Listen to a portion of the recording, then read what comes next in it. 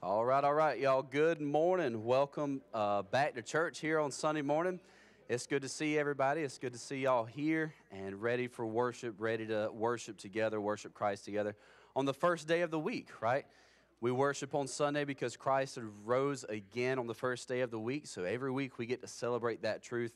And everything about today is changed because Christ is alive, right? Everything's changed because Christ is alive in heavenly places, preparing for us a place, and we're excited for it. Uh, we're excited to go and worship uh, this morning, but we're excited also to worship in eternity. So, uh, as we get ready, as we get started, a couple things to keep in mind. Next week, we've got our maid service. So, next Sunday evening at 5 p.m., we'll do our marriage conference. If you're married, please come out and join us. Uh, we're also going to Topgolf this Saturday if you've signed up and registered for that. Uh, we'll leave here. Um, what time are we leaving here this Saturday, Miss Cynthia? 4.30, 4.45. So 4.30, 4.45, we'll leave here to head to Augusta to go to Topgolf this Saturday. Um, and again, if you're a married couple, sign up with us. Uh, we're excited for it. And the next Sunday evening will be our conference. Now, if you're not married, you are welcome to come out to our maid conference next Sunday evening, okay? We're just going to be talking about marriage, but that's in Scripture, right? And the truths in Scripture are, are well to be rehearsed with everybody. So as we do that, uh, be there, be sure to join us uh, as we're excited for that.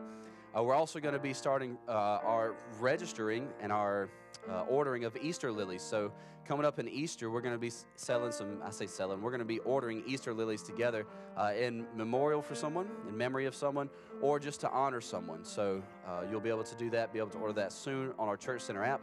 And we'll be able to have them up here to decorate for our Easter service. And then, right after Easter service, we'll be able to take those home uh, with ourselves to be able to make sure we keep everybody in memory and that legacy that they're leaving, make sure it keeps going on. So, excited about those things coming up. At this time, I'm going to invite you to stand to your feet with us. We're going to get ready to worship. As we do, I want to look at the book of Hebrews. Uh, I believe we're in chapter number five, number six. And the Word of God is, is, is worthy to be magnified. The Word of God is worthy to be honored and, and spoken of this morning, right? Because it's truth. One thing I said as we were praying uh, for our rehearsals, I want to see God's truth be magnified this morning. I want to see God's truth get out there, right? Because Scripture is truth, and that truth is what allows us to worship God fully, right? As we grow in our knowledge of God, we can grow in our worship of God. And so in the book of Hebrews, no, I'm sorry, I'm looking at James. I'm sorry, Miss Ella. James chapter 1. My bad. James chapter 1, verse 27 says this. Pure religion and undefiled before God and before the Father is this. So, you want to know what good, pure religion is? To visit the fatherless and widows in their affliction, right? In their affliction. It doesn't say do it when they get out of affliction. It doesn't say do it before, during. It says do it during, right? It also means do it after. Do it before that happens. Go and visit them and to keep himself unspotted from the world. So, what's the point here? The point is that as we worship God in, in our religion, right? That's all about building those relationships, not only with God, but with other people. We say here that we love God, we love others, and we what? Serve both, right? So to go and to visit them, to keep them in our prayers, to keep them in our, our thoughts, but do more than just that. Go and visit them, go and talk with them. Be there for them, be there for each other. And the greatest news is that God has already initiated that for us, right? God has already started that for us. He visited us when we were in our affliction, when we were in our pain, in our suffering, God was there with and for us. And so this morning, as we praise God for that truth, let also, let's also let that move us to go and to seek others that we can love. So let's pray. Lord, I thank you this morning for everything that you've done for me. I thank you for the mercies that you have given me to wake up this morning, to be here in good health with good family, Lord. You've, you've blessed me and you've blessed so many other people in here in different ways.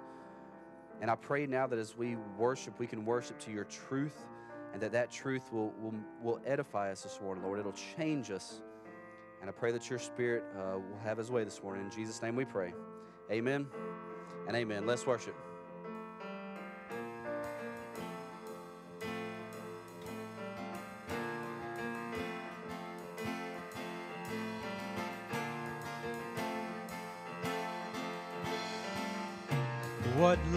Could remember no wrongs we have done.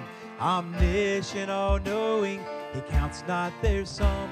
Thrown into a sea without bottom or shore. Our sins, they are many, His mercy is more. Praise the Lord. His mercy is more.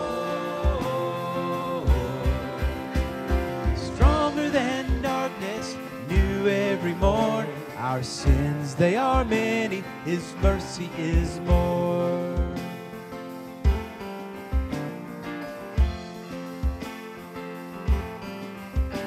What patience would wait as we constantly roam? What Father so tender is calling us home? He welcomes the weakest, the vilest, the poor. Our sins, they are many, His mercy is more. Praise the Lord, His mercy is more. Stronger than darkness, new every morn. Our sins, they are many, His mercy is more.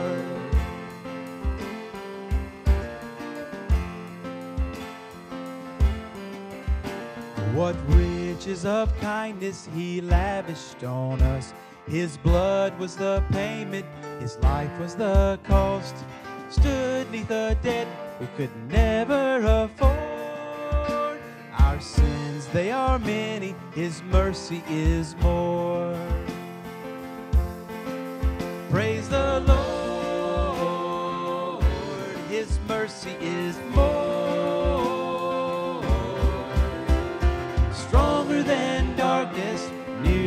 Every morn. Our sins, they are many, His mercy is more. Praise the Lord, His mercy is more. Stronger than darkness, new every morn. Our sins, they are many, His mercy is more.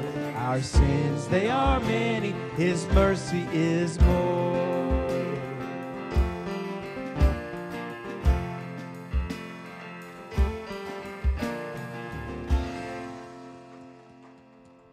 All right, y'all can have a seat right where you are this morning. I thank y'all for worshiping with us. Thank y'all for being here uh, and, and singing, right? Praise unto God because His mercies are more. Any situation, any tribulation. Um, as, as I pray, one of my prayers is that God will give me the grace that I need for that day, right? When the Bible says His mercies are new every morning, it means they're new for every situation that you're going to encounter. Because every day is different, right? When we come and we wake up, we know the day is different. We know that there's new struggles, new stuff that's, that's in our way, right? But God's mercies are there to give us enough grace and enough power to go through that. We do that with each other, right? We do that as a family, as a church. And I thank y'all for worshiping with us. At this time, we're going to go and we're going to talk a little bit about our offering. And, and this morning, I wanted to mention a little bit about just, just my family, why, why we give, why we serve, why we do what we do. And I want to do that by taking you to Ephesians chapter number three. I want you to hear what the, the Apostle Paul says. He's talking to the church and, and, and he's writing his letter. And in the middle of the letter, he kind of stops and he says this For this cause I bow my knees unto the Father of our Lord Jesus Christ. So Paul's telling the church, here's why I pray. Here's why I'm bowing my knees to the Father of our Lord Jesus Christ to pray. Next verse. And he says that he would grant you, being the church, right? I'm praying, I'm bowing my knees, that he would grant you according to the riches of his glory. Out of the richness of who God is, he's granting us this, this mercy we talked about, right? The riches of his glory to be strengthened with might by his spirit in the inner man. That Christ may dwell in your hearts by faith, right? That you being rooted and grounded in love may be able to comprehend with all the saints, with all of them, from past time, from right now to, later on, right? With all the saints, what is that breadth and length and depth and height? That you may be able to comprehend that, and that you may know the love of Christ which passes knowledge, that you might be filled with all the fullness of God. So, my family, my wife, and I make a decision when we get paid that we're going to give. And, and I do that, number one, because it's, it's what God would have for me, but I do that so that the mission of our church can carry on. Namely, that you may have the knowledge of Christ and that the fullness of God may dwell with you, with, with the people that are here, with the people that are coming here, with the people that will be here, right? That's why God has called me to do that. That's why He's called you. Each family, that's, that's given, that's represented here. Y'all are given faithfully, and God is doing great things with that. Um, I, I, teach stepping forwards on Wednesday night. If you're a, a, new family to the church, if you want to know more about the church, join us 6:45 on Wednesdays. I love doing that because I get to see families from all different backgrounds, all different types of people. Right? We're, we're all different. I know that. Marriage, we know that. We're different people trying to trying to be one. Right? But I get to see that, and I get to see the love of Christ dwell with people through how we learn and how we go through the Bible, the Word of God together. So that's why I give. That's why I pray. That's why I'm here. That's why I do what I do. And I know it's the same is true for y'all. Each and every person that serves in this church does it so that we can see the glory of God dwell with others, right? So if you want to give, if you want to participate uh, and contribute, I guess monetarily, you can do this with our website. Go to BBC Bethany or BethanyBBC.com. Set up reoccurring giving there. It's really easy. Same thing for our Church Center app. You can scan our QR codes. Um, if you're a person who likes cash or check, you can give in these envelopes and drop it out in one of these boxes here in the front or in the back. And Brother Larry will be right here by the door uh, as we leave for our overflow offering. So we thank y'all for giving above and beyond what God what God calls us to do. And it's because of that we can support our evangelism. Who had a broadcast yesterday to pray for people. We've got prayer requests. We're seeing the community be served through prayer. You're supporting benevolence, our families that, that, that go through tough times get supported with food when stuff happens, when, when life happens. And we're seeing that happen with missions with Brother Travis over with Unsheltered International and Brother Pat in Garden City and Augusta. So it works. It works. Giving works. And God blesses it. So let's pray. Let's ask God to continue to bless the efforts that He's called us to. And let's ask God to bless uh, the rest of the service. So, Father, in Jesus' name, I do pray and ask uh, that your hand will be on the, the giving, the offering of the people here. What everybody's giving out of, out of what, what they make, out of what they work for, Lord. And, and I know that you, you bless that. I know that you can see what people do and that your spirit drives us to it. And so, Lord, I pray uh, as we continue to give, I pray that as we continue to serve, that your Holy Spirit will just move in us. Draw families unto you, draw people unto you. And I pray that you'll be with the rest of the service as we worship. In Jesus' name, amen and amen. Y'all worship with us.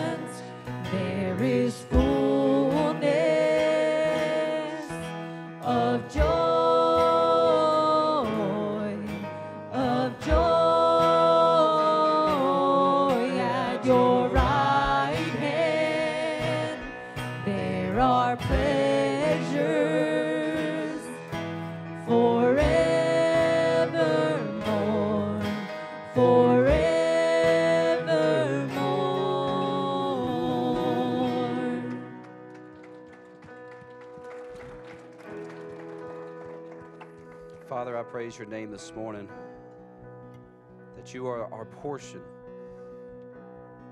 The lot that's been given to us in life, Lord, may is, is different for everyone. But God, you are our portion and you are the, the blessing that we get. As we seek you, you reward us with yourself. And Lord, I pray as this church, as we grow in our knowledge of you, as we grow to that breadth, the length, the depth, the height of who you are, I pray that our lives will be geared more towards you. I pray that others may see that and they may also come and worship you. Pray as we open your scripture, your Holy Spirit will speak to us this morning. In Jesus' name.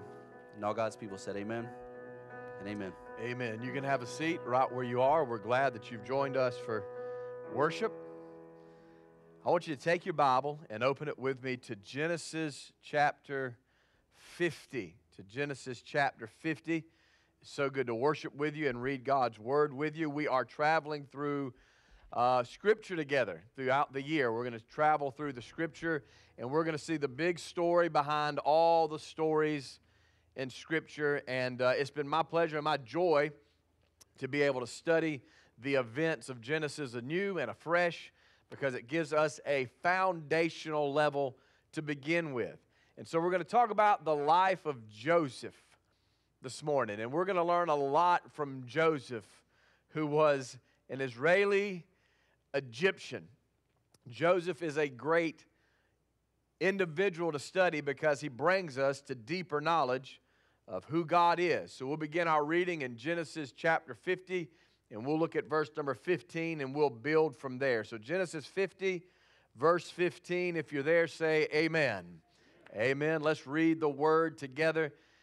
And when Joseph's brethren saw that their father was dead, they said, Joseph will hate us and will certainly requite us or reward us or punish us for all the evil which we did to him. So even before we get to the backdrop of this narrative, we know that there was some family conflict, right? There, there's some family animosity. There's, there's some hurt feelings from past situations.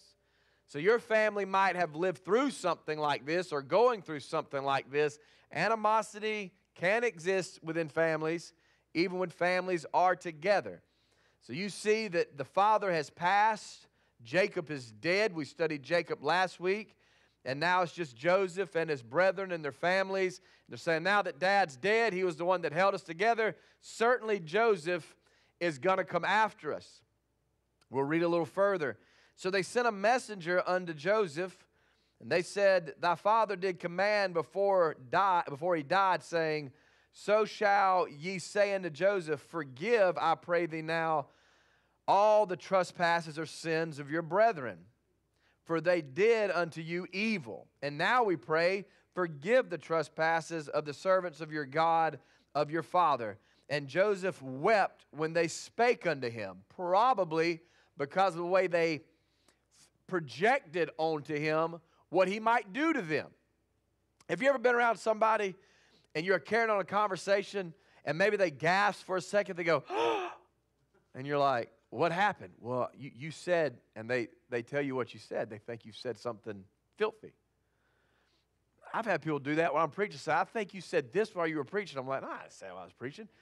They said, I swear you let it, you let it slip. I said, that's just telling me what you think about me, that I just go around swearing all the time and it slipped and fell out. I mean, think about it. We project things onto each other, don't we? And that, that can hurt your feelings. That can upset you as a person. You could say, I, I would never, what would make you think I want to kill you? You've been living under my care for this long. I brought you out of famine. I brought you out of a diseased place. I, I've, give you, I've given you favor with Pharaoh. I've, I've backed you up in everything. And now that dad is dead, you, you think that I'm going to hate you? Man, can you imagine Joseph's like, man, I've been through all this and my family still thinks I hate him. And Joseph never did anything ill toward his family, yet that's how they perceived him. And that's what happens, right? You can perceive people the wrong way. You can project on them something that's not truth. So, one thing I tell folks about in church life and in life in general if you didn't hear it come from me, then it didn't come from me. It came from whoever said it. It didn't come from me. If you hear it from me, then yes, it came from me. You don't, you don't project on people what they haven't said to you. Don't try to read into their actions and their movements. Let, let those things speak for themselves, and you'll have some peace. There won't be a whole bunch of gossip. gossip. There won't be a whole bunch of, of, of, uh, uh, of separation between you and people if you don't project on them what you think of them or what they might do to you based on how you're feeling. So Joseph, he, he wept. He wept. And, they, and as they spake unto him, and his brethren also went and fell down before his face. And they said, Behold, we, we're your servants, we're your slaves. And Joseph said unto them, Fear not. I'm in God's place. Let me say something. There is some confidence and some self worth and value in knowing you're in the place of God. When you don't doubt where you're at, you're good to people. You, are not, you're, not, you're not after people because you're looking around and saying, This is God's place for me. I'm good with this. This is fine. I mean, how I got here was tough. My road was rough. My journey was bleak. It was, it was a mess from the start, but I'm standing where God destined me to stand. So I'm not finding my hope, my faith, my peace, or my comfort in you. I'm finding my faith, my hope, my peace, and my comfort in where God and His sovereignty has put me through my life's events. So I'm resting in God. I'm, I'm in the place of God. But He goes further. He said, I'm in the place of God, and I get it. You did think evil against me, but God meant it as good. Because evil's not greater than God. Evil events are not greater than God. God's greater than evil. God overcomes evil with good. And we know He does this because He tells us not don't be overcome by evil or with evil, but overcome that which is evil with that which is good. Did you know throughout history there's been oppressors and there's been the oppressed. How many of y'all know that just studying history logically, wars and, and groups merging and taking others over? This is what, how, how the world goes about this. When the oppressed are released and they're given power, they become the oppressor. Joseph is the per- perfect picture of what the kingdom of God ought to be when those who are oppressed are released and given power, they're not the oppressor, they're the blesser. So you say, I've lived through oppression and I, have lived through abuse in my life and hurt and heartache, and somebody ruled over me with an iron fist and they, they buckled down on me, and I don't feel like I was given a fair shake in my family or at my workplace or in my school or in my society, in my culture. I, I feel like I was just belittled, but now God has elevated me be the blesser. Be the blesser. Because you're not in the place of God to be the oppressor. God did not bring you where you were and give you the little bit of power you got. He did not ordain that to crush people. He ordained that for you to lift each other up. And if each generation decides, I'm going to lift John up, and John says, I'm going to lift you up, and, and Rayber says, I'm going to lift John up, and Mason says, I'm going to lift Rayber up, you know what happens? We all are elevated together. So Joseph's a beautiful picture. And the reason I'm getting how beautiful Joseph's picture is of his life is because of this. Jacob, his father, was the height of moral depravity in the line of Abraham. He was a messed up uh, guy in his past. Now, thank God there was a change in his life, But when we study the story, if you read these like 14 chapters that are about Joseph and his family and his life, which is a, a large chunk uh, uh, of Genesis, I mean, matter of fact, Moses writes more about Joseph than anything else in Genesis. You'll discover when you're, when you're reading this, he gives Joseph his time because Jacob, Jacob's relieved of his of his, uh, uh, uh, of his oppression. He's given his son. His son is overseeing his brethren and doing a good job at it, but he gives him a good portion of the time because Jacob was the height of the, the prey of the line of Abraham, the promised seed, and, and Joseph, he's at the top. He's at the top. And the cool thing about showing Joseph at the top, and even his brothers had a change of heart after they sold him into slavery, we'll get into all that he comes, they go into Egypt where Joseph is at. They don't know he's been raised to a kingship level. So they go into Egypt, and uh, Joseph just says, Do you have a brother? Well, yeah, I've, we've got brothers. They don't know it's him. He's speaking to them in Egyptian tongue, and he don't look the same. Everything's different. He said, Do you have a father? Yes, we have a father and brother. He goes, Well, I think you're spies. So until you go and bring me your brother and bring report back of your father, I think you're lying because his brothers were liars. So he goes back, and Jacob's age now, Scott, right? I mean, he's done got older, but you know what? Those old ways are still in him. he says, I can't believe you told the man the truth. Jacob was such a conniver, it was rooted in him. He goes, Why'd you even tell him you have a father or a brother? Now you're going to bereave me of my only child I would have left. I mean, oh, y'all might have got killed in Egypt, but at least I would have had Benjamin. Come on, guys, why did you tell the truth? And they just said, Well, the man asked us straightly, Do we have a brother? and a father, and we just told him yes, but Jacob was a little upset because he was a, he was a liar. So Jacob was the height of this moral depravity, it seemed like, in, in Abraham's line at this time. And then Joseph's the height of the good moral character of Abraham's line. So he said, You meant for evil, God meant for good. And he's going to do what he did, and he has done what he did to save many people alive. So we see salvation. Now, therefore, don't fear me. I, I will nourish you. Now, I like this. And I'll take care of your children.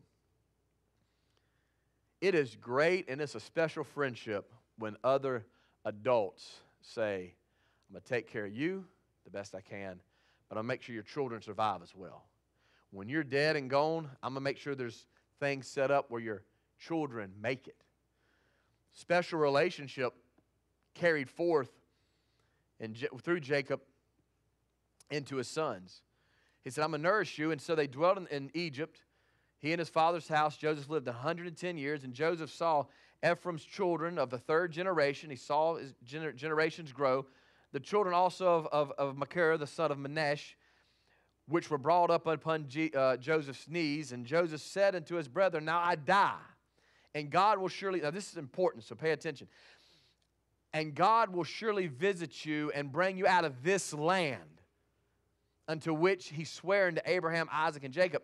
And Joseph took an oath of the children of Israel. That means they, they wrote this in stone. It was a legality, if you will. God will surely visit you and carry, and you will carry my bones up out of this land. So Joseph died being 110 years old, and they embalmed him, and he was put in a coffin in Egypt. Now, we're going to find out throughout the, the biblical history Joseph's bones didn't stay there. But why would you want your bones moved? That's a good question, and we're going to try to answer some of those. Father, give us insight in your word, give us insight into who you are, and bless us greatly for the knowledge that you're going to impart to us through your word. Be with each person, each family that's represented here. May you meet their needs through the preaching and teaching of your word. May we honor it, respect it. May we not take it lightly. May we not take each other's presence here lightly. May we not take worship together lightly, but may we embrace it and let it nourish us up into the men and the women and the people we can be before the Lord in Jesus' name. And all God's people said, Amen and amen. So I'm going to give you a brief history and rundown of, of, of Joseph. That way we know about Joseph, this is Israeli Egyptian. So Joseph was born to Jacob and Rachel in the land of Haran. Now, if you remember, that's where Laban was. And if you don't know about that story, you need to go back in Genesis to where Jacob was on the run from Esau. But, jo- but Joseph was born in a foreign land. He was, the, his, he was uh, with his mother as his father wrestled with the divine warrior from last week. He met his uncle Esau at a young age, and he grew up with his brothers in the land of Canaan. He is the favorite, or was the favorite of his father, due in large part to his excellence in character and his abilities. Jacob just didn't select Joseph because, ooh, I like you. He saw something in Joseph that was pretty easy for normal people to see, and that was he was a pretty awesome kid that could handle responsibility. He was a pretty awesome kid that had good, upstanding moral character. So he was placed, although not the oldest, he was placed over his brothers, hence the coat of many colors signifying leadership in the home. So his brothers rejected this oversight in part because they saw how Joseph saw himself. That's, that's very important. Joseph saw himself through God given dreams. And what he saw in his dreams was he was destined to be a ruler. He was destined to reign over his family, to guide his family, to be the protector of his family. And boy, did that make his brothers mad because you got to understand the family's already split between two moms as it is. Same father, two different mothers, so there already is some conflict of interest, uh, interest there from Jacob's marriages. So there are already some things going on. And then Joseph shows up, sits down at the breakfast table, and goes, How's everybody, how's everybody been doing? Been doing great. Everything's, everything's great, Joseph. Thanks for asking. He's Let me tell you what I dreamed last night. And he lays out this dream that shows his, his rulership. And basically saying, God's chosen me over all you to see my family through life. Well, even his father said, What, what are you? I'm the father, you're the son. But Jacob wasn't ignorant. He's like, God spoke to me before, so he might be speaking to my boy. And so he, he, he, kept him in his mind. But he still rebuked him because he didn't want his brothers all upset. But his brothers didn't like him. So they decided what else to do with a brother you don't like besides fake his death and sell him into slavery. It's not natural at all, is it? Some deep hate, hatred like you see that we saw between Cain and Abel. So they faked his death. They sold him into slavery. He ends up in the, uh, the land of Egypt, in the kingdom of Egypt, in the country of Egypt, and he becomes a slave to the captain of the guard of Egypt. Now, meanwhile, while all this is going on, there's grief and trouble back home as Judah has a wild family situation, endangering the promise of the seed which was promised to Abraham and his descendants. So while there was trouble in Canaan, Joseph settled into his role as the leading slave in Potiphar's household. So here is a good looking young man in Potiphar's household that is well trusted. He looks good, he's self controlled, he has great managing skills, so he catches the eye of Potiphar's wife who attempts to seduce him. And he does something that a young man would be very hard for a young man, alienated from home, alienated from any affection of family, he tells the woman no over and over and over and over and over. He refuses to be seduced. So, after the seduction didn't work, a situation arose where Potiphar's wife falsely accused Joseph of sexual assault. And so Jo- Joseph ends up in jail for two years. He's not getting it easy, he's in a bad situation. In jail, he meets two people the butler and the baker. Evidently, there was something that happened between the butler and baker that made Pharaoh think they're trying to kill me. Because back then, t- test tasting food and checking to make sure you're not being poisoned, and, and whoever bore the cup, the wine to the, to the emperor the Pharaoh, they had to make sure everything was legit. So something came up. Maybe Pharaoh thought there was a conspiracy on his life. I don't know exactly. But the butler and baker land up in jail and they have troublesome dreams. Well, Joseph has a gift and he puts his gift to work and he says, I'll help you out. Tell me what's going on. So they told him the dream. And he says, Well, here's what's going to happen. You are going to get out of here in three days. Sounded good. You, on the other hand, you're going to get your head cut off in three days. Now, what I respect about Joseph is he didn't water down what the truth was. To look at another human being and says, You're going to die in three days. And it came to pass. So, as it came to pass, what they decided was hey, don't worry about it. I'm going to remember you and I'm going to tell Pharaoh all about your ability and we're going to get you out of jail. Well, that didn't happen. They forgot about him. They forgot all about him. for a couple years. Well, a couple years passed, Pharaoh started having crazy dreams. And so it dawns on the guy, hey, I can go, I can go talk to, to, to Joseph. Look, y'all, I forgot all about him. I think that the guy was just getting back in good in the palace and he didn't want to ruffle no feathers, so he just left Joseph in the jail, is what I think. But anyway, he says, All right, we got this guy named Joseph. He's in the prison, but he can tell you about your dreams. Pharaoh says, Go get him. So he goes, gets him, and, and Joseph said, Hey, this is, I got this under control. God's going to interpret this for you. He's going to tell you all about it. He said, There's going to be seven years that there's going to be plenty. You need to store up because that plenty is going to run out. You need to save up, you need to have a strategy, and you're going to have seven years of famine. These seven years of famine are going to be terrible, and you're going to need to have corn saved and wheat saved, and you're going to make sure that we are planning for this seven. Don't spoil the years of plenty. That could be a great lesson for all of us. If you're in a time of plenty in your life, don't squander it because famine always seems to like to come. Trouble likes to come, financial pain, difficulty likes to come. You don't get to ride the high forever. So make sure you're smart and don't squander. So Pharaoh said, I like this guy. He's right. He's good. and so he placed him second in command. And so now we have this Israeli slave has really become an Egyptian. He is taken on, he's in his, a promised seed of Abraham, but also an Egyptian. Now, one similarity between Joseph and Jesus is Jesus completely God, the complete promised seed of Abraham, completely man. That, that's kind of cool if you watch the typology that unfolds in Jacob's life. So, meanwhile, back in Canaan, as Joseph's saving Egypt and giving them great advice, meanwhile, back in Canaan, the famine's taken hold. They're starving their supplies have run out. And so Jacob sends his sons into Egypt and says, Go buy food and bring us back food. Now, here's something I want you to ponder on and speculate with me. What would have happened if the family of Israel respected Joseph? Egypt would be coming to Israel to buy corn. It would have swung everything. So don't be jealous and don't hate don't discriminate against people that are gifted, that have insight, that have leadership ability, that maybe be well liked in their community, their culture, their grouping. Don't, don't hate.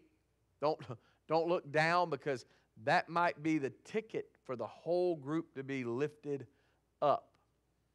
Now, we don't know what would have happened if they would have respected Joseph, but we're pretty sure that God would have preserved his people, and most likely Egypt and the rest of the world would have been coming to Israel for help and not going to Egypt.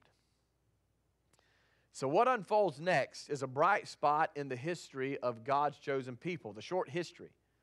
Joseph conducts himself, and we can see the promise of God to Abraham temporally fulfilled in Joseph. That's why Moses spends so much time writing on him. We can see this great promise of Abraham that he would have kings from his genealogy, that much they would have much land and prosperity. You could see it temporarily filled in Joseph, just a little, just a little bit.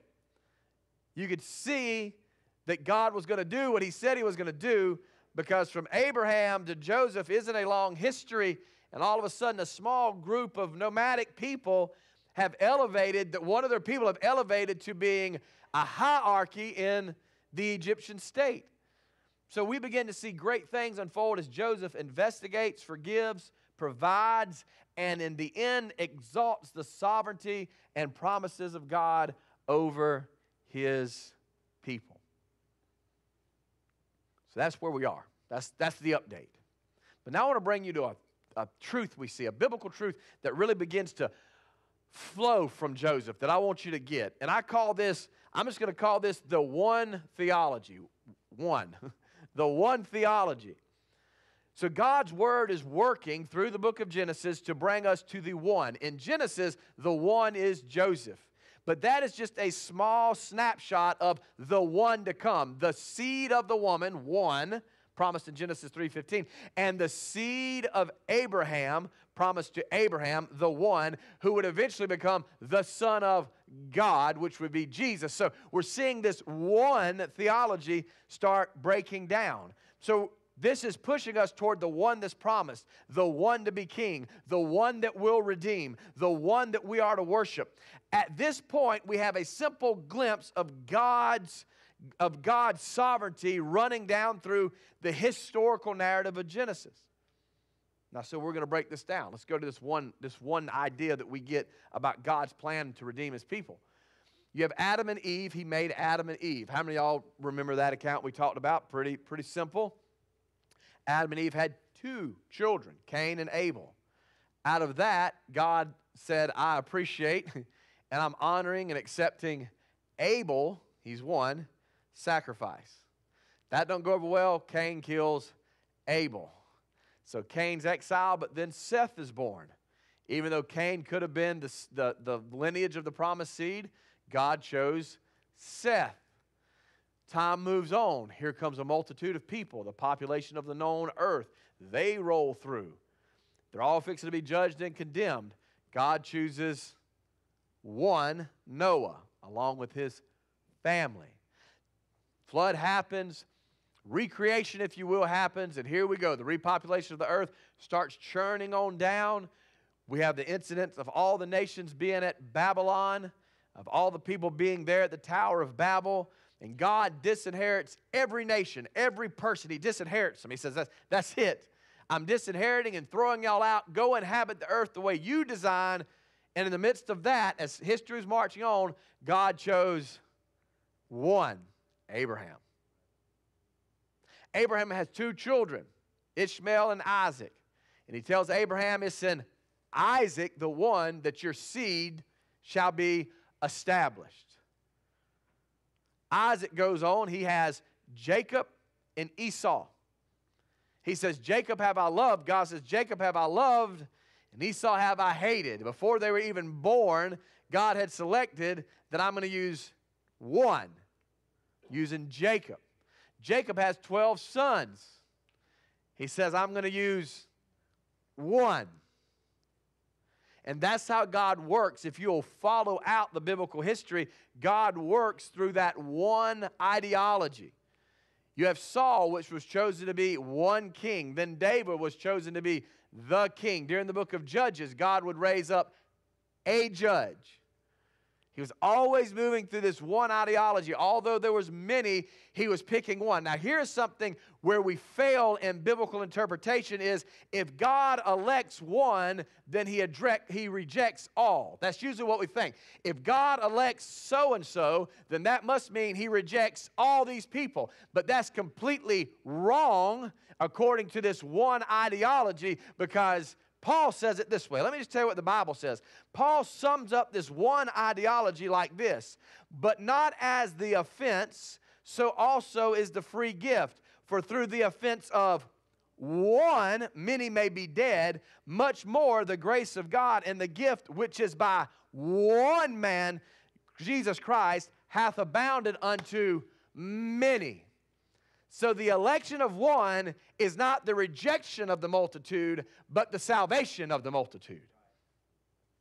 The election of Joseph was not the condemnation of Israel, but was the salvation of Israel. So sometimes we begin to look at election in biblical doctrine, we start thinking, well, God's just simply unfair. No, you haven't grasped the massive plan of God and His electing power to save the multitude. So, although that we see this ideology of one unfold, and we see God's plan unfolding through Joseph in this one ideology to save his brethren, it's not Although he is the one of Genesis, he's not the one. We see a lot of small redemptive stories in the Bible before we come to the main redemptive story. But Joseph is a picture of a redeemer. His life reveals one of leadership, temptation, suffering, rejection, false accusation, and false condemnation. Same with the life of Jesus. But his life also exhibits forgiveness, ruling, and salvation. Israel was saved through him, yet the salvation was simply physical and temporal. Another cool thing about Jacob or Joseph here is that Joseph marries an Egyptian woman. He marries an African woman. He is an Israelite who is marrying a Gentile. It's pretty cool. Matter of fact, they have children. And the children carry on his tribal heritage. Manish and Ephraim. They get to inherit land because Levi won't get to inherit in the land because he's a priest office, which means his inheritance is of the Lord. Second, Joseph was replaced by Manish and Ephraim. So they get to inherit the land and they get to experience the life of an Israeli, although we have a Israelite marrying a Gentile person. The cool thing is, Jesus' bride is Gentile. His church is made up of mostly Gentile people, not Jewish people. And from us, our witness to others, we're bringing in more like us. So we get to experience the heritage of Abraham, although we're not of the tribe of Abraham. And thus, through Joseph, all the nations of the earth are being blessed. If you can handle that much information at one time, God is blessing the nations. Not only is He saving the nations and blessing them while Joseph's in Israel, He's all of a sudden starting to bring in all the nations through this marriage and through the timeline that would unfold from there as we're all brought in by, by faith in Jesus to the heirs of Abraham. How many y'all with me so far say amen? Isn't the story of Joseph just wonderful? I mean, it's a lot to it 14 chapters. You're not simply going to get it by listening to me preach. You have to go read it. That's the thing about your Bible. Personal discipleship is personal. You got to read it. You got to listen to it. You've got to study it. You, when you don't understand it, just keep going. Just keep going. Just keep a rolling. Some of it's ancient. Some of it's hard. Some of it, some of it you ain't gonna get. Some of it I ain't gonna get. But that don't mean we don't put. That don't mean we lay it down.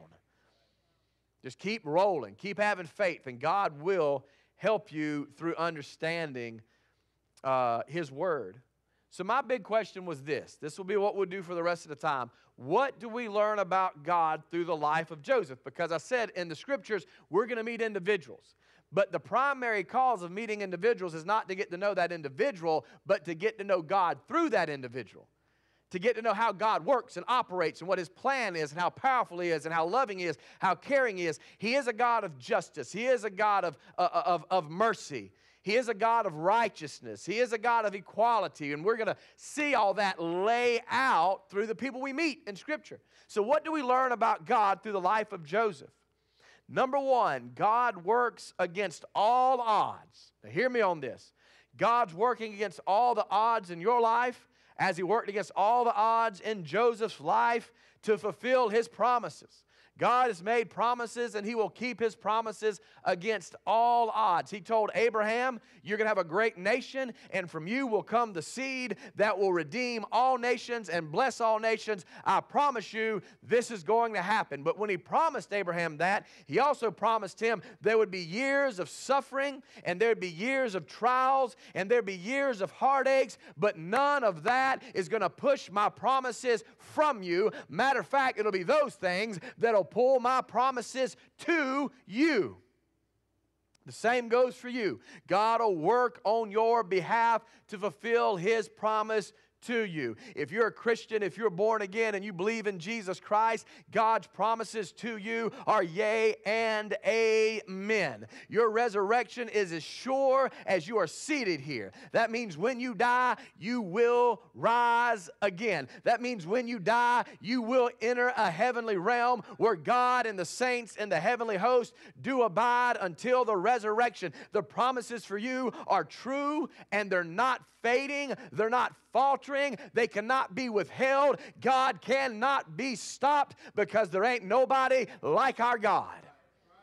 God works against all odds. So you look at the odds facing you as a believer and you tell those odds they are not your God. You will not bend to them. You will not bow to them. You will not succumb to them. You'll work through them. You'll work until God works on your behalf.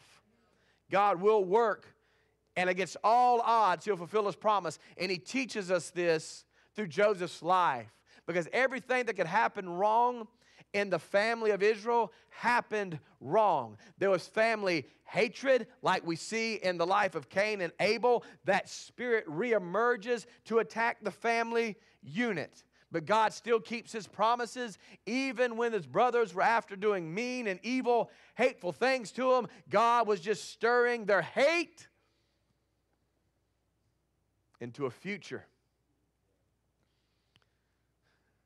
So family issues arose. And then there was purity issues within the family. I'm not going to get into Judah's situation, but Judah was of the seed of Abraham, and he had a mess of a situation going on during the time his brother was in Egypt. And that messy unrighteousness and his messy sex life and his, his messy marriages and just messing it all up, it didn't ruin God's plan. Now, it could have. And if left up to me and you, it should have. But God knows how to take man's worst mistakes and move them around to move in a direction that glorifies God. Number three, there was a famine that threatened the entire family of the promised seed that could have wiped the whole family out. That's not even to mention Joseph's issues in Egypt. He called it the land of his affliction. When he named his son, he said, I'm naming my son Manesh. I'm naming my son Ephraim. One means you have caused me to forget the affliction that I've had in this land. His children. God moving him and blessing him. He said, My child has caused me to see the affliction in this land differently. See, God will cause you to see your situation different if you'll trust Him. He said, I'm seeing things different. He had another child, and he said, I, I'm going to name this child the one who has caused me to forget all the grief from my father's house. Which tells me Joseph was a man of sorrow and grief. Reminds me of Isaiah 53, where it says, Jesus was a man of sorrow and acquainted with grief. But Joseph said, even in the midst of everything, God has fulfilled his promise. He has been to me my God. Now, I can tell you the complexities here of Joseph's marriage and married life, he married a priest daughter, not a godly priest daughter, but he married a daughter whose daddy was a priest to a false god. And all Joseph knew was Yahweh, the creator. But you don't read of them duking it out God don't go through and give us a lot of marriage counsel about this situation. It appears, the best we can tell, that they fulfilled their married obligations one to another and probably cared about each other. Joseph was certainly a family man. So we could get into all that. The point is, God was still preserving Joseph through all of it. So we learned that God will keep promises against all odds. Number two, God blesses those who live according to his design. How was Joseph blessed? Number one, he was favored by his father. He was favored by his father. God blesses those who live according to his design and live by his nature. So Joseph found favor with his father. He did not find favor with his brothers, but with his father he did. When he was sold into slavery, he went to Potiphar's house. And soon, what did he find? Favor. Why? Because he acted with upstanding moral character even when daddy wasn't looking. When mama couldn't look and grandmama couldn't look and granddaddy couldn't look, Joseph still lived according to his giftings and according to what he knew about God. That should teach us something about growing up as God's people. It's not about who's looking that you like, it's about God looking all the time that you love. Right? God's eyes always on you and he's watching you. Favor by his father, and then he got favor by Potiphar. Now, that favor, each time it seems like favor leads to issues. It appears that because he was favored by his father, his brethren hated him. That's true. He was favored by Potiphar. So his wife wanted him, not his wife, but Potiphar's wife. Looked at him and said, I want you. And that becomes a temptation. So that favor left, led to temptation. And let me say again when you are put in a position where you have privilege or power or ability or influence or however you like to call it, there is the temptation to do wrong with it. But do like Joseph did and said, How can I sin against Potiphar, my neighbor, and how can I sin against God? He found favor also in prison and put him in prison. And even the chief of the prison said, This dude's awesome. I'm going to let you take care of everything to do with the prisoners. Make sure they get the meals they need, make sure everything runs smooth, make sure they get along, solve all the conflict. And it made the, the prison guard's life easy. He found favor in prison. And finally, he found favor with Pharaoh. He just kept living, kept living, kept living, kept. The thing about this, he could have got mad at Egypt and mad at their system and mad at everything going on. He could have cussed you. he was blue in the face. He could have told everybody in prison, they forgot me. They left me down here. I'm gifted. I was a leader in my father's house. They don't know my lineage. They don't know the promise of my God. All these people are crazy. He could have went on and went on a rant and a tirade, but even alone in the dark in the prison cell, he still lived godly. And guess what? Favor came knocking.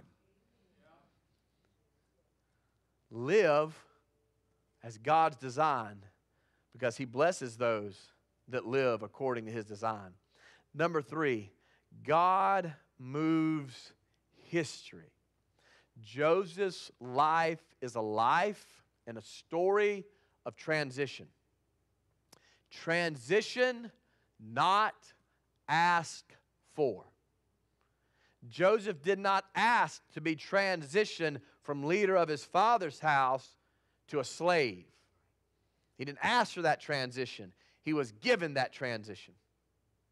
God moves history. He didn't ask to be transitioned from a leader in Potiphar's house to a poor prisoner, maybe awaiting execution in Pharaoh's dungeon. He didn't ask for that transition, he was given that transition. And certainly in your life, you are given transitions you have no control over. Now, you can do one or two things. You can try to be the God of your transition, which you aren't. You didn't initiate it, you won't complete it. Paul said, I am confident of this very thing, that he that began this work in me, he will perform it until the day of Christ Jesus. There's confidence in knowing that God is the God of your transition.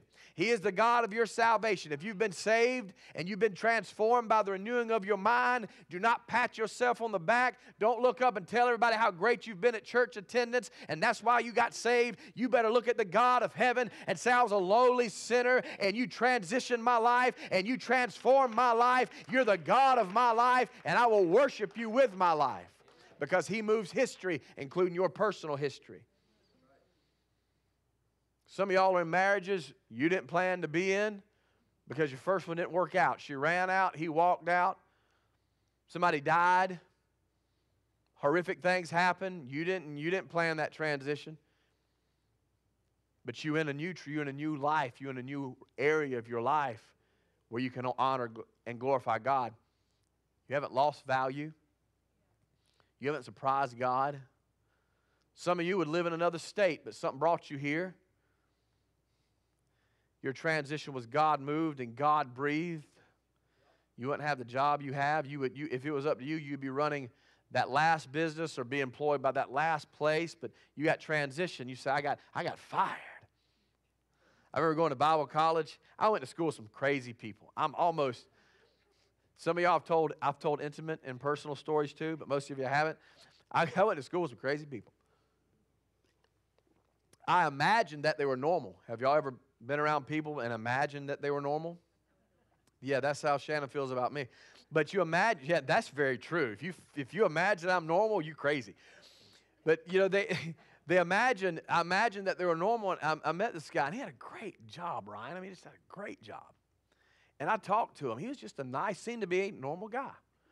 And Steve, I'd talk to him, walk up to college, walk up that little area, go to the college room, and I'd be there a few minutes early because I, I despised being late.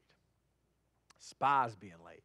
I was carrying a friend up, and I was showing up to Dr. Brown's class on homiletics and hermeneutics, and he was teaching. It was a Thursday evening.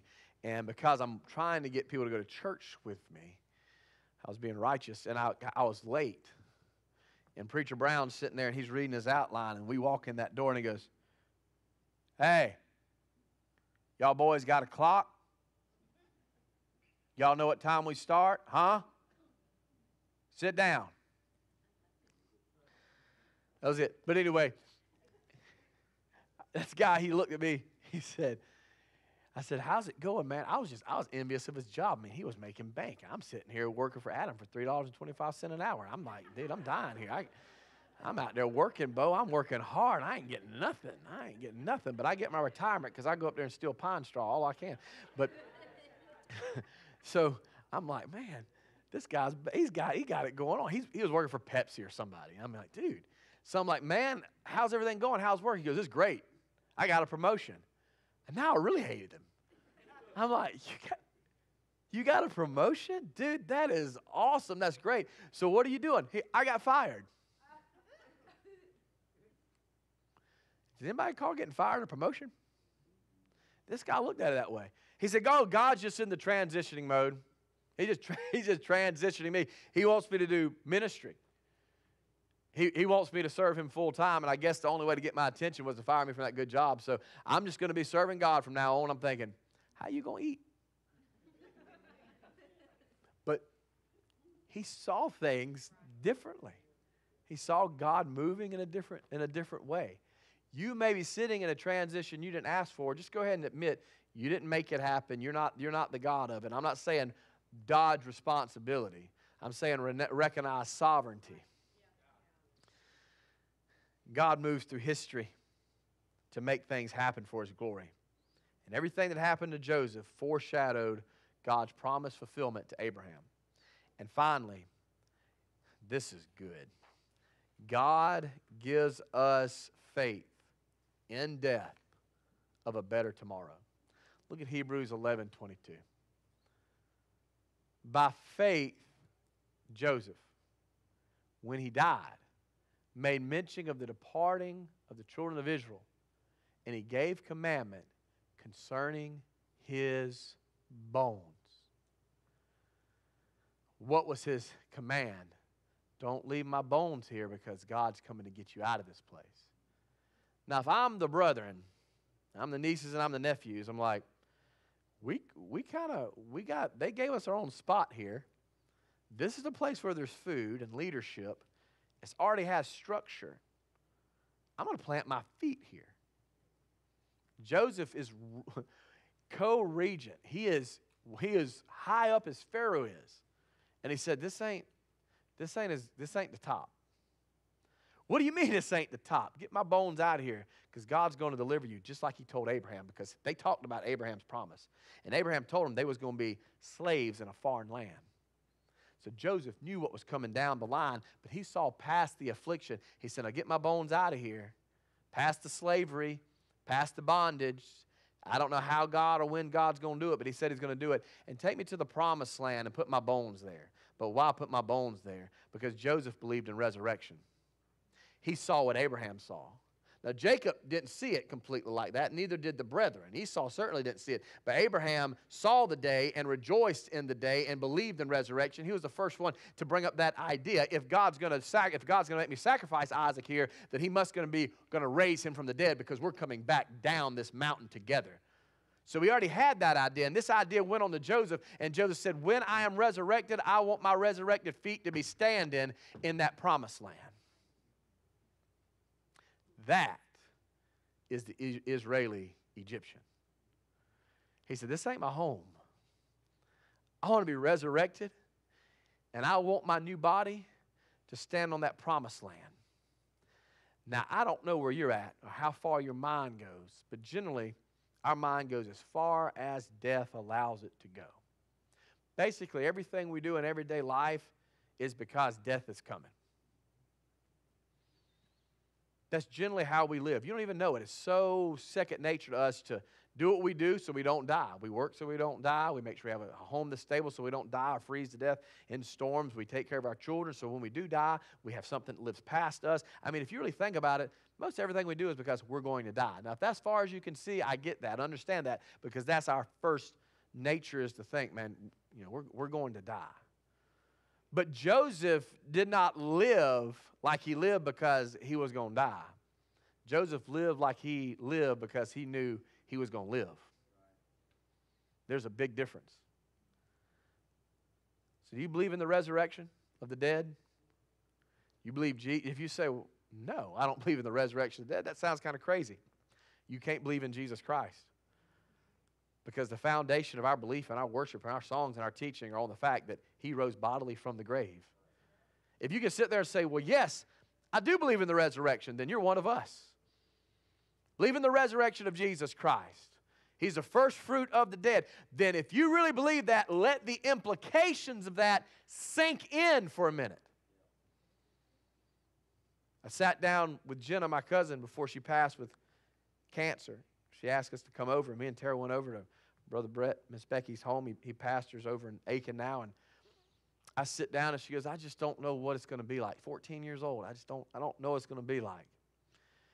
And right there in the yard's a big oak by the lake. And I looked at her and said, Since what Jesus did for us is real and sure, that means me and you, our feet, are going to touch this ground together again. And we go stand under that oak. One day in eternity, our feet are going to touch this recreated earth. It means, you know, this ain't it. I'm going to have to tell you goodbye here, but it's not permanent. It means because what Jesus did, we got a future not yet seen. Now, what does that do? That makes grief that's coming at you not retreat, but stop. I got two dogs at home. One's 80 pounds, one's 180 pounds. These dogs get excited, they'll come running right down my hallway, and I can look at them and say, Hey! And they slide, and their butt hits the floor. Left unattended, they'd run right over me like big old buffalo. You know what the resurrection does to grief as it's running at you and it's getting ready to tear you up and floor you and smash you? You could say, Hey! I'm going to see them. They're going to see me. I'm going to see the saints. Think this ain't going to stay like this. It's like this, but it's not going to stay like this. My bones be taken out of this place. I'm going to be resurrected. And it ain't going to be the same, it's going to be better. Stand to your feet. Let me give you a C.S. Lewis illustration. If you have, if you have kids in the room, don't bring them here. Um,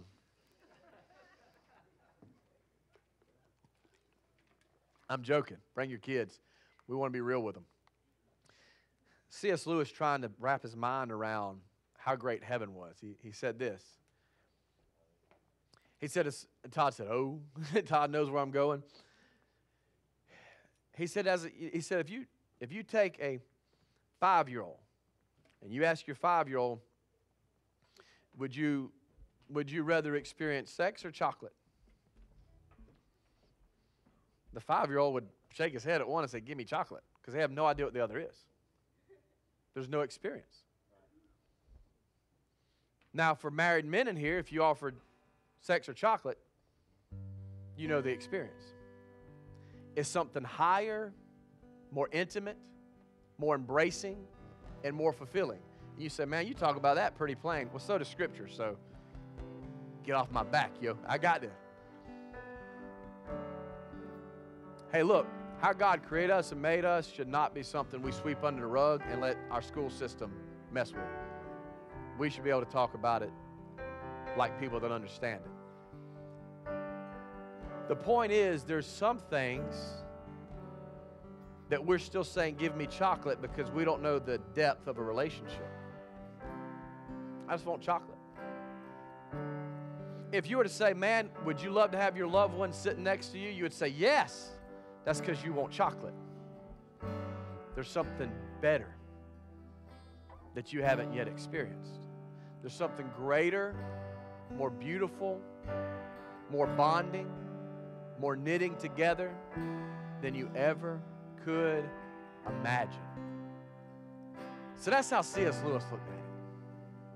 I didn't understand as a boy deep relationship. All I understood was sweets. But better than sweets, there's something sweeter. And as children of the faith, oftentimes all we understand are the sweet part, sweet parts of the faith, the chocolates of the faith. Tell me that everything's going to be okay.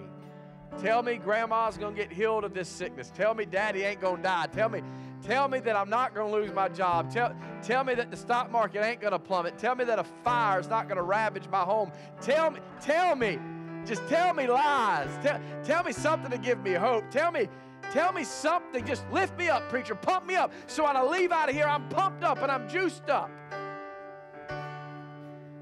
I don't want to simply hand you out chocolates. I want to tell you when the storm comes, there's a God that can get you to the other side but the storm's coming. I want to tell you that you have the ability to walk on water and you have the ability to sink. So hold fast to Jesus. I want to tell you there's a sure and steady anchor for your life. I want to tell you when you say goodbye to your loved one that they will resurrect if they believe in Jesus Christ and they will rule and reign on a renewed earth where the fallen nations, the disinherited nations, have been wiped out, and there's only one king and there's only one kingdom. I want you to have that which is sweeter. Because nobody in here grows into men and women eating chocolate morning, noon, and night. If you believe in the power of our Lord and the promises given to Abraham, that's been fulfilled in Jesus Christ, give the Lord a hand clap of praise in God's house. Now we're going to pray and we're going to sing. If you need prayer for anything in your life that may be unique, Miss Debbie's right here and she will pray with you and she will pray for you and she, she will help you in any way uh, that, that she's able to do that. Brother Ryan's coming up with me here. He's not going to play anything, he's not going to sing, but he'll be right here. If you need prayer as a man, a gentleman, and you have a specific prayer request, Brother Ryan's going to pray with you. He's a deacon of our church. He's a good man, and he will pray with you. Don't look for elaborate, spellbound prayers. Just look for somebody to agree. God, help them where they are. In Jesus' name. Let's pray. Let's sing. Let's worship.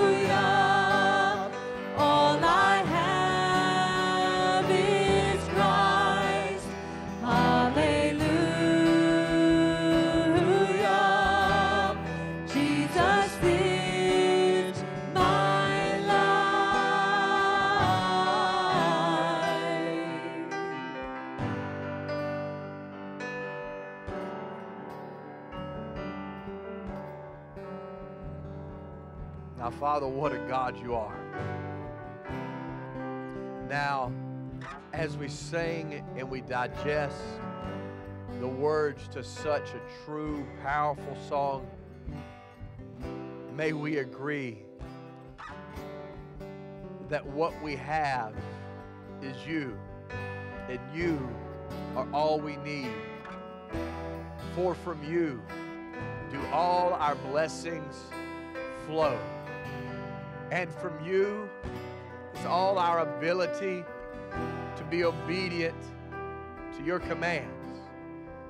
It is from you that we are held together, that we are kept together. You are everything. You are the Lord God, and besides you, there is no other.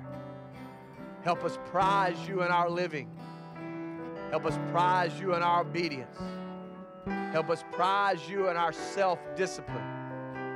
Help us prize you in the way we treat our neighbors, our closest neighbors, our wives, our husband, our children.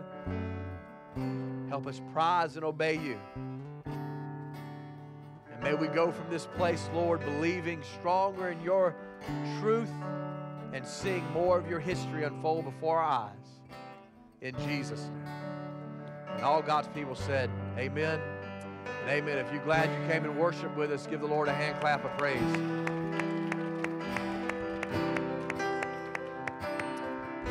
Here at Bethany, we're all about next steps. If you are a new believer in Jesus and you want to follow through with baptism, we want to help you with that. Immediately following service, you can speak to our worship pastor, Brother Todd, and talk with him and let him know you're interested in that next step. He can help you with that. Be glad to. If you are a guest, thank you for being here. I have a small gift to give you in the foyer, and me and my wife would love to get to meet you briefly. So our guests can exit through our foyer. If you're with us all the time, if you don't mind exiting through the double doors here, to give us some time with our guests and uh, some folks that are new here. And if you are picking up children back here where Brother Steve is by the sound room, just pick them up and exit this way. Thank y'all for being here, and we'll see you at 5 p.m. tonight as we study God's Word further.